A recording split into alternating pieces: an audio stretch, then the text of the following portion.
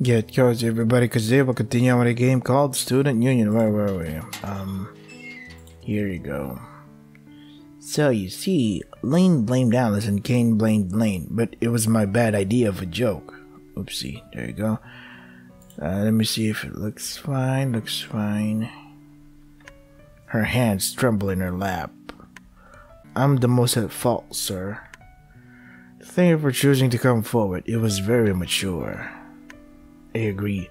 Guilt is compelling. Mr. Underwood adjusts his rolled up sleeves. I step forward. She also would like to join the student union, sir. We're resolved to ensuring that when these kids of misunderstandings occur, no one should resort to violence. Underwood raises an eyebrow and Holly stares at me incredulously. She then looks at Alice, who merely grins. She's outnumbered. Is that so? Yes, sir. He looks at the ceiling for a few seconds. He's probably deciding what to do with this. Alice finally chimes in. I think Kane's punishment was too severe. Your input is noted. I disagree. Da da da. What the hell? What's up? What's going on with the neighbors? Why are so many barking at this time of morning? 1.30 a.m.? God damn it. He leans forward. In strict terms, both Kane and Lane committed assault. Unacceptable. Both of you girls caused a lot of trouble with your mischief. Using that fake hand from the drama club, what were you thinking? Sir, I was overly competitive and took it too far. It was a prank in bad taste, and I realize it now. He glances at me before massaging the bridge of his nose. You three will perform janitorial duties for the next three evenings for one hour after school. Ever economical. Will that interfere with the cleaner's work? We do not have it a janitor this year. Then who cleaned the stairs? In light of the circumstance, I believe it will provide insight on the school's current needs for your group and represent a team building exercise. We're still allowed to create the group. Tentatively. I'll do it, sir. I will too. Good, Alice. Of course, sir. Mr. Underwood stands. Thank you all for taking responsibility and making an effort to move past this. I expect we will not need to have a repeat of this conversation. We nod with varying speed. Holly's particular emphatic. Okay. We three walk down the hall quietly at first, but eventually, Holly can't contain her need to vent. Why did you make me go in there and join the club? What the heck? She lightly punches me in protest, hopping with each bab. I smirk and gently defend myself. Hey, we said no violence, remember? You said several things I don't agree with, mister. With my hand on her head to hold her back, she puffs. You should feel glad. I could have gotten revenge like in the gangster movies. You were going to cut off my pinky? If I was feeling poetic, I'd make it your whole hand. Eep. She hops back. Alice watches us with arms crossed. We all got off easy, actually. I continue to address Holly. So I can count on your vote, right? It, it's only fair that if I join to apologize to you that I vote for Alice, so apologize to her, okay? I give her a head pat. She swats it away in mock protest. That's fair enough, thanks. The bell sounds Alice treads closer. Her voice travels through the ringing. So you're not quitting after all? No, I guess not. If you accept my apology, I'll consider not keeping you on cleanup duty. I won't do that, but I will work with you if you remain semi competent. I extend a handshake. Deal. Alice stares at my hand long enough to discomfort me and walks away. Holly shakes my outstretched hand in place of Alice and whispers, Deal, hee See you after school. Huh, see ya. She leaves too. My stomach growls, but I can't hear it over the churn of students around me. I feel the rumble of my abdomen as I go to class. Okay. I'm still getting confused here. Like, where are we going with this? Having deciphered the angry stares from yesterday's study hall, Coach decided we could use a free period in the gym today. Is this one of those slow burn visual novels? I sat in the bleachers alone, watching students socialize and play on the basketball court. I'm not looking forward to unpaid cleanup duty after this. I run my fingers through my hair, carefully up to the edges of the bandage. The itchiness irritates me. Does it hurt? I flinch and turn to the tall girl from yesterday. Oh, Nat, right? She nods. It's sore, but not too bad. What's up? You're pale. My confusion disperses after a second and I chuckle. Oh, you're worried about me? I'm okay. She places a fresh water bottle on the seat near me. You can have this. Huh. Hey, you never said why you weren't interested. Inviting her to sit with me, I pat the seat. She hesitates. In the paid student group, I mean. She sits a little further away than my gesture indicated. I may be going home soon. I sure hope so. The day's almost over. To my home country. I opened the bottle and drink. I'm thirstier than I realized. Where are you from? Russia. My family may move back. Sorry. No, I want it. What's wrong with here? She stares at me. I'll rephrase. Why do you want to move back? Friends and family. You have those here too, right? Not my brothers or my boyfriend. The last of the cold water slides down my throat as I upturn the bottle. I cap the empty container. That's hard, sorry. Hope the move back won't be too much of a pain. Thanks for the water. Do you need to leave school? Do I look that bad? You appear unsteady. I smile and shake my head. It's sweet of her to worry. I stand firmly as an example. I'm fine, see? I'm going to take a little walk. Talk to you later. If she responds non-verbally, I don't see it as I turn to stride into the hall. I check my phone. No unread messages. Uh save here. Return. Wanna text Miss Webb. How are your classes? This is meant to be an emergency contact line. I've got Mr. Underwood's number too. He's male. Surely you recognize the issue. What are you afraid of? Excuse me, do you need something? do I? What a waste of time. I lift my eyes from my phone while entering the restroom. Prodding under my eye with my forefingers, I inspect myself in front of the sink. I'm pale, and the shinier under my left eye is dark. I splash my face. The door weighs more than usual, but I push back into the corridor. Oh, we're getting weak. Only a few steps towards the gym before I stop. That noise was familiar. It's from the upper floor. Deciding to investigate, I hurry to the stairs. Still clean. While climbing, I massage my gums with my tongue. A taste of copper. Hmm, interesting. The second story hallway comes into view. I shuffle in the direction of the noise. And soon I'm in front of Mr. Underwood's office. I knock on the closed door. Hello, is everything alright? Only silence responds. I'm coming in. Just before my hand touches the knob, it rattles violently. I flinch and step back, staring at the jerking handle. What are you doing? Oh, I spin on my heel and bump into Nat's chest. Lucky bastard.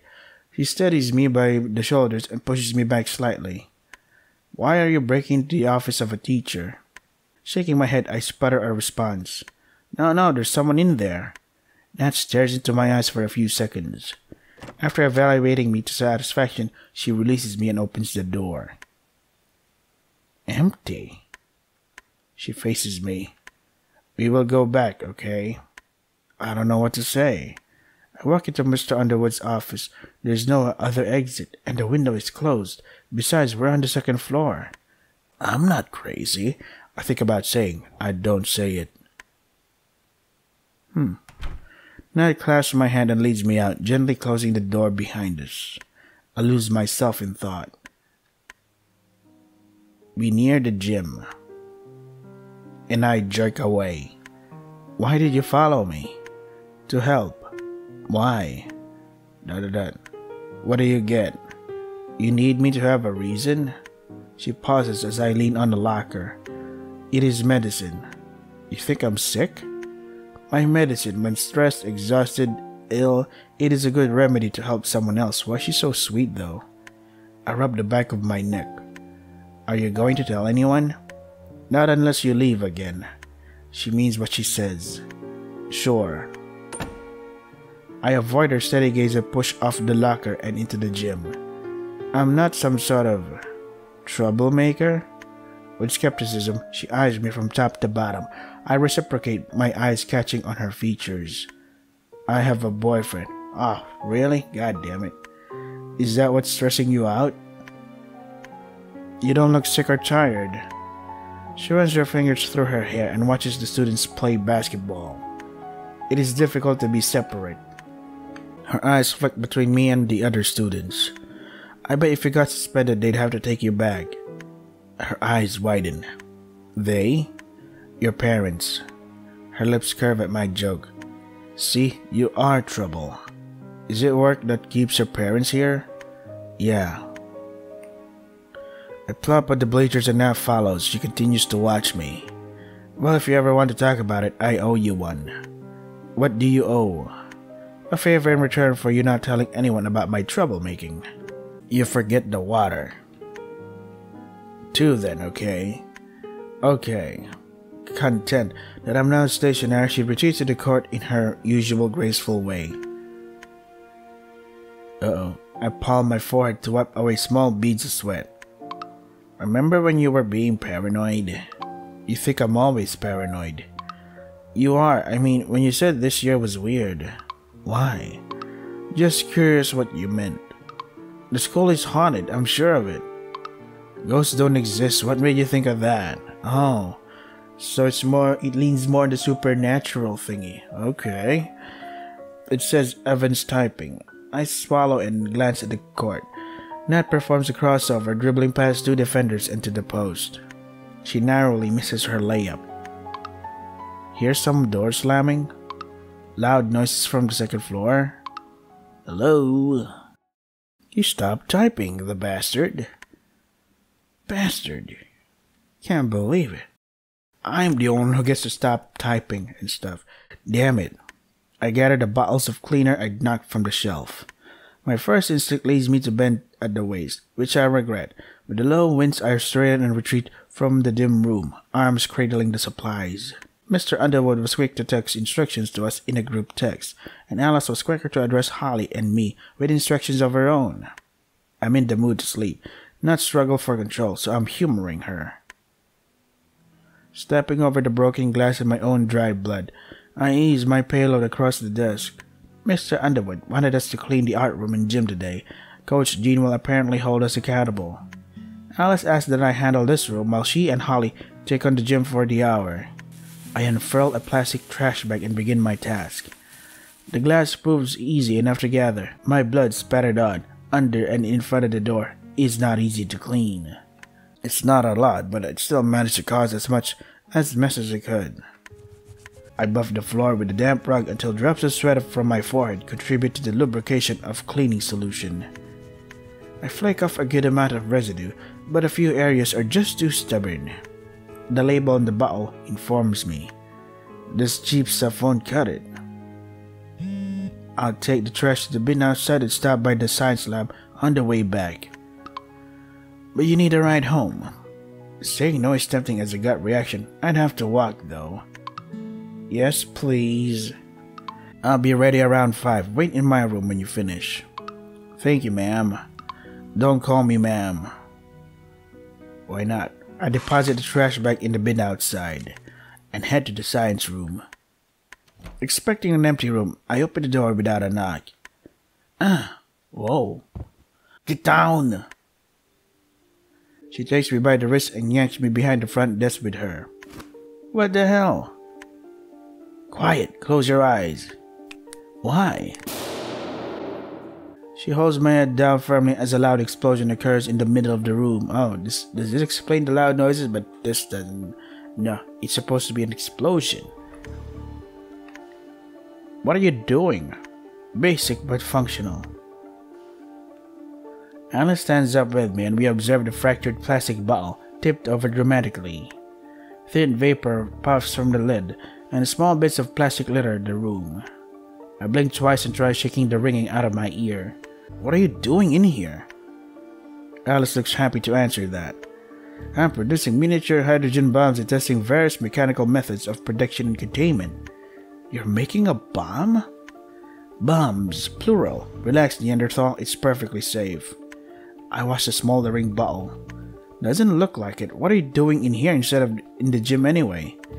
I'm interested in the energy production capabilities of the reaction and exploring practical uses via automation. What are you talking about? Two parts hydrogen, one part oxygen, high temperature, big boom. Understand? There are many uses for explosive energy.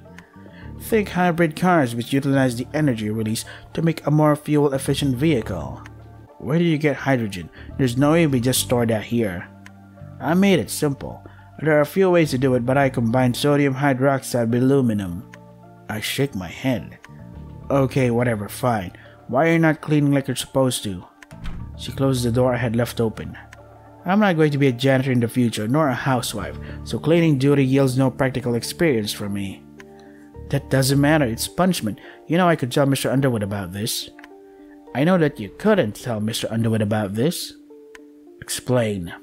I'll deny it, and the ensuing conflict would handily destroy any team building efforts and likely scrap the student union formation. What a bitch. And you do not want that, so you have no power here. I have the power. While you're here, wanna be my assistant? She moves to the table and erects the ball. No, did you leave Holly in the gym? I did, yeah. And you called me selfish? I didn't say I wasn't too. Do you know how to clean up blood? Alice glares at me, glances at the door, and places her hand inside the desk drawer. Since I'm cleaning the art room, I need to clean up my blood from this morning. It dried and won't come up. Oh. She frees her hand from the drawer. Yeah, mix a little bleach with water. Let it sit on the sink for 15 minutes and wash it up after. Huh, you sure? Of course, I have more a thorough solution, but a simple method will work for your duties. She waves me away and returns to her task. I hesitate for a second, then open the door to leave. Thanks. Yep. She seems like a pain to deal with. I return to cleanup duty. I dust off the rest of the classroom while waiting for the solution to sit and afterwards rub it clean. Alice's method works well, actually. Some tiny patches remain on the door. I doubt anyone would complain when seeing this improvement. Or maybe they would, but what's choke cherry high without a few bloodstains? Will you please help me with the cleaning? Yes, I'm all alone. Please, please, please. I could help her, then again, we're already even in my book. While I'm waiting for Miss Webb, I could check the second floor again. Um. I mean, she did ask first before making me want to go to the second floor. Fine, I'm sure it won't take long. Evan would be jealous. I collect the supplies and transition to the gym. Why is Holly even friends with me? I don't get it. I approach the bench along the court. Holly lies on her back, immersed in her cell phone. She hasn't noticed me. What are you doing? Holly hops up and stumbles wildly, nearly dropping her phone. Um, uh, hi, that was fast. And that was suspicious. Well, it shouldn't be because it's not. I scan the area. There are no cleaning implements, which fuels my suspicion. Yeah, I'm gonna use this as a thumbnail. Where are your cleaning supplies? Alice was getting them, remember? Remember? For 40 minutes and you didn't think to check on her? I most certainly did. I texted her when she was helping you for a bit. She said to text you for help later, since you both would finish early by working together. Damn it, Alice. I push my palm across my face. Fine, and why didn't you start here? She looks down into her hand, smile faded. You both had the supplies. Then why didn't you come help, or ask for our supplies? Seriously. Her eyes water, her hands clenched together in front of her. She mumbles. What? Speak up. The blood. I didn't want to see it. My eyes widen as I realize why. Damn it, I shouldn't forget that. It's okay. I'm here now, so let's just finish up quick, yeah? She nods solemnly, and we begin our task. I glance at Holly periodically to confirm her status. A few minutes pass. I'm sorry I'm not being around as much over the break. I know Evan wanted to hang out too. It's okay, I. I really was working a ton. Besides, I thought you might want some space for a while. Her smile returns. Everyone thought that at the same time. It probably didn't help that I had to get a new phone number. How about I make it up to you? Want to spend time with me and Evan this weekend? I pushed the white dust mop over the floor, moving away from her. Maybe if you promise to make it fun. My time is top tier. You boys must earn it. We'll figure something out, so long as you're not sick of me by the end of our punishment sessions. Punishment sessions make it sound way kinkier than it is. As I near her with the mop, I wiggle my eyebrows. Do you want it to be kinkier? No, bad. I chuckle and continue dusting the court. Holly picks up trash from under the bleachers. The garbage stretches out the trash bag she used to gather it. I approach as she grunts loudly. Struggling to lift the bag, I cross my arms and watch her. Need help? Pfft, not from a peasant. I'm more like a mighty warrior, fresh from battle, adrenaline still pumping through me. I point to my bandage. So come on, give me that. Gripping beneath her two hands with one hand, I squeeze the bag closed tightly and lift it over my shoulder. My other arm cradles many of our supplies. Mighty indeed, how chivalrous. She scoops up the remaining dust mop and we journey to the janitor's closet. Can I ask you something weird? Sure. Wait, maybe. Have you heard or seen anything weird around school? Holly looks up at me, examining my forehead as it beads with sweat. What do you mean? Loud noises, banging and thuds from the second floor. Nope, I could ask Granddaddy if there's construction. I shake my head quickly. No, it's not important. I heave the trash bag into the dumpster with a grunt before we move back inside and to the closet. That, hey, are you okay?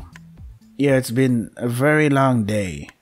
We restock the shelves with the slightly diminished supplies. Or at least I do. Not sure what Holly's doing. Well, from behind I hear the faint click of the door closing. What in the fuck? I was like, really, dude? It's weird to me that Holly is this, uh, I don't know, close to the main character. I'm like, it already gave me weird vibes. Like, dude, what the hell? Turns out she has a thing for the guy? Alright. I turn and look down at Holly. She's close, looking up into my eyes. Our valiant hero, war torn and battered, deserves a reward. I feel my cheeks flush. What did you have in mind? Do you know what harvest goddesses are known for? Uh, what? Their fertility? Shit, your and squeezes my hand. yeah, but also their healing powers. What are you doing, silly? Shush. She massages my hand slowly with her soft fingers, pressing into the muscles of my palm. Then she slowly works her way down each finger. She rubs between each and every joint. Carefully, she rolls her slim fingers all over my hand. My eyes close, shoulders relax. You're good at that. Shush. Her voice is a whisper. My hand rests limp in her grip while she systematically fondles me. I did this at cons sometimes, booth babe strategies to lure in otaku, hee I speak in a whisper too, completely relaxed. I bet it worked well. She hums. I open my eyes just in time to see her parting from my hand with a kiss. Her lips were warm, we're both blushing. With that, dear warrior, the ritual is complete. You will be fully rejuvenated with 110% health upon resting at an inn. Wow, what a buff. Do I get one if I do all your work tomorrow too? Maybe? Well, too bad. You need to pull your weight, even if you're tiny. Hehe. Dude, what about your friend though? Evan. Dude, this doesn't look good. Come on, man. She spins around and swings open the door before hopping out. I follow with a stupid smile on my face. Huh. Holly ran away, silly girl. I repeat the thought of Evan being jealous about my time with Holly. Probably best to spare him every detail. Oh god, dude, oh no. Friendship will be over. I feel unsteady. My fingers dig into my shirt beneath the jacket and above my heart. The smooth polyester cotton fabric conforms to my grip. Ready? My hand returns to my side at the sound of Miss Webb's voice. Yeah, Miss Webb? Her eyes flick over me. Ask me on the way. Do you Do you what? Her eyes lock to mine once we reach the first floor. Stay home tomorrow. What? I didn't stutter. Why? My vision blurs and I hold my hand over my eye. She pulls my hand down. Are you serious? Maybe she's right, but I can't. I have to clean as punishment. You can. You have my permission. Do you know Mr. Underwood well? Rolling her eyes, she resumes our walk. I know him a little. You called him Turner, so I was just curious. What was he like? Like he is now, but happier. Rosaline leans against Miss Webb's car as we approach. She notices my curiosity. Sam's my ride. Do you normally ride with her? Sometimes, uh huh. Miss Webb slides into the front seat. It's unlocked. Ross and I join her. Okay. Seems like they're in a quiet mood. That definitely works for me right now. I wonder if she's dropping off me or Ross first. My attention turns to the window. I'm so tired. What a day. I smell Miss Webb's lavender air freshener, I think one of them is wearing a pretty perfume, actually. I drift to sleep for just a bit. Hey, we're here. Looks like my place is the first stop. Thanks again. Miss Webb offers me a long look. Get some rest. Immediately after I step out, Ross climbs into the front seat to replace me. Shoes, what have I told you? Come on. As I walk away from the arguing, I notice Jester curled on the front step. I bend to pet his back. Hey, buddy, this morning I could have sworn you were being stubborn again and stayed inside. Jester lifts his rear to press into my hand. I step in front of the door and hold the knob steady while reaching for my key. But it's not locked. Uh oh. Looking back where Miss Webb's car was, I confirm they already left. I hesitate. Uh oh, why is it unlocked? Opening the door slowly, I step inside the dark entrance. I ease the door closed with an inaudible click. Light rustling can be heard from my room. I inch toward my kitchen, one hand following the wall to keep me steady. My eyes adjust to the dark. I slide a large kitchen knife from its holder. You can just open the light. The sharp tip faces outward as I wheel it with both hands. The rustling continues. I hold my breath and move closer. What was that click? The sound is more distinct right outside the door to my room. Hmm. I kick the door open and face the intruder. Ah, what the hell did you? I lower my weapon. What are you doing in here? Evan, having pressed himself against the wall, takes a step forward. I, was waiting for you. Yeah, why were you messing with my shit? I was bored. Wow, uh, I've been here for a minute, huh? I don't hide my irritation. How did you get in? The spare, the key, the extra one you keep behind the stairs. Note to self, don't leave a spare out. You don't have to stop, not on my account. I won't tell anyone. About the key, I mean. My anger fades. I lift the knife again. Guess I'm gonna have to kill you, huh? Very funny. Why are you in the dark? I set the knife on my bedside table and flick the light switch. The light does not turn on. Your power is out, I think. Great, I rub my face. Okay, so why are you waiting for me? I couldn't say it in writing. You never know who's going to see it. Say what? What you said, it's true. The noise is at school, I think. I hold up my palm. No, it's not. I was joking. You're being ridiculous again. No, I'm not. Well, no, I'm not. Not this time. Honest. I sit on my bed. Look, I'm really tired today. Lane, I'm serious. I am too. Out. He doesn't budge. I, I go in the library instead of the study hall in the afternoon. Yeah, it feels like unless there's half the students missing, coach wouldn't notice. As long as I don't do it too often, it's okay, but I've been doing it more. Congrats on your new level of delinquency. It's like he's choosing his words carefully while he avoids eye contact with me. I'm not the only one. In there, I mean. I've seen Principal Decker and Mr. Underwood talking. They were arguing today. About what?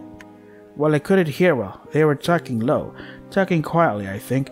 Mr. Underwood said something about a sustainable solution. I don't understand the problem.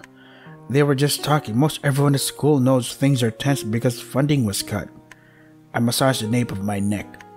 That's, well, yeah, but they were really serious. I felt like if they caught me, I'd be in a lot of trouble. Of course, because you were skipping class. But why would they keep meeting there to have important conversations? I don't know, but I do know it's probably not as nefarious as you seem to think. How do you know? It's not normal. But it's not really that abnormal. Look, I'll go with you tomorrow if it makes you feel better. Okay, good. Right at the study period, right? Yeah, geez, you need to relax. He stares at my bandage. I need to relax? What about you? What about me? Sorry, I just mean, what's going on lately? Are you okay? I chuckle. I've got a serious headache, but I'm fine. Why are the lights out? What do you mean, what the, why are the lights out? Beats me, I just got home. I'll call the power company later to figure it out. Where's your mum? His concern becomes frustration. Why have you been like this? What's wrong with asking for help? You you clearly need it. I stand up. I clearly need help, huh? Evan steps back. I didn't mean it in a bad way. It's not bad. How do I need help then? What the hell do you know? I don't know, you're right. I just think it's okay to ask for help. I'll help if I can. Well, I don't need your fucking help. Then why'd you ask me to join the group? Because I knew you'd say yes, because you always do. You rely on me too much. You obsess over what I'm doing. Get your own damn life. Get a single other friend, if you can. You need to leave. Evan gently places the extra key on my dresser and exits. Oh boy, that was awkward a conversation. Uh, so, is, did, did his parents abandon him, or are his parents dead? So I'm gonna stop it here because I've been playing for too long. This is Student Union. Oh no, my friendship is uh, on the is treading on thin ice because what is up with Holly? So she has a thing for the main character. I knew something was weird about her, but Evan, poor Evan. If you want to try the game for yourselves, the links are in the description. That is all for today. Stay safe and take care of yourselves. And wonder what's the supernatural, huh?